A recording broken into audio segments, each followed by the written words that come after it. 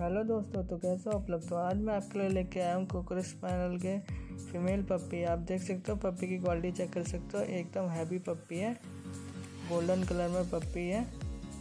देख सकते हो, पप्पी की क्वालिटी चेक कर सकते हो। एकदम हैवी पप्पी है और सेल्फ फीडिंग भी कर रहे हैं। वीडियो अटैच कर दी साथ में मैंने पप्पी की।